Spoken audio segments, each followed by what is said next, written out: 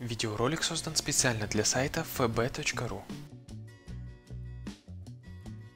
Не знаю, как вы, но я считаю экранизацию «Мастера и Маргариты», сделанную Бортко, одним из лучших продуктов российской киноиндустрии 21 века. Очень хорошо подобраны актеры, почти полный перенос книги, ну и хорошая режиссура. Кому-то может не понравиться в главной роли Анна Ковальчук, но она из немногих актрис сумела показать Маргариту такой, какой ее описывал Булгаков. «Мастер и Маргарита» — это произведение не для детей. И это связано как минимум с двумя факторами. Во-первых, чтобы понять произведение, нужно иметь очень большой кругозор и отличные знания истории. А во-вторых, произведение создано таким образом, что пытаться избежать откровенных эпизодов было бы совершенно неправильно. Центральная фигура произведения – Маргарита. Именно актрисе, которая играет Маргариту, предстоит в некотором смысле перешагнуть через себя, так как обойтись без сцен, которые сегодня будут иметь сенс, не для всех, никак нельзя. Анна Ковальчук, когда согласилась на главную роль, была рада сыграть Маргариту. При этом она прекрасно понимала, что ей предстоит.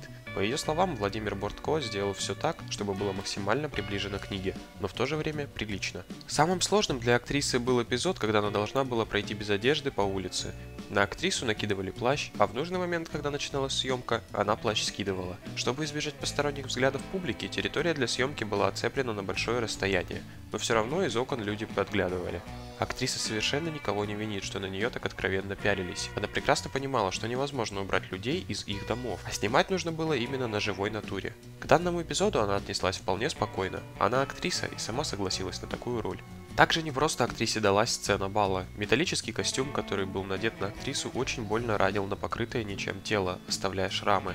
Плюсом ко всему он был еще и холодным. Снимали в большом павильоне, где нельзя было ничем нагреть воздух. Рядом ходили люди в теплых куртках, а Анна стояла почти совершенно в неодетом виде. Помните сцену шабаша? Снималась она в августе. Озеро, в котором плавала главная героиня, находится в самом центре Санкт-Петербурга. Актрисе пришлось ступать по дну, где могли быть и осколки бутылок, и всякие острые железяки. А еще было видно, как рядом плавают водяные крысы. Все сцены полета были сняты, естественно, в павильоне. Актриса летала с помощью тросов, которые при помощи компьютера были удалены. Да и женская красота была также замаскирована спецэффектами. Если сравнивать версию Владимира Буртко с версией Юрия Кары, то можно сказать, что у Бортко получилось все более-менее прилично, с демонстрацией наиболее спорных в этическом плане эпизодов. А как относишься ты к экранизации Мастера и Маргариты? Делись своим ответом в комментариях. Подписывайся на канал и ставь лайк под этим видео. Видеоролик создан специально для сайта fb.ru.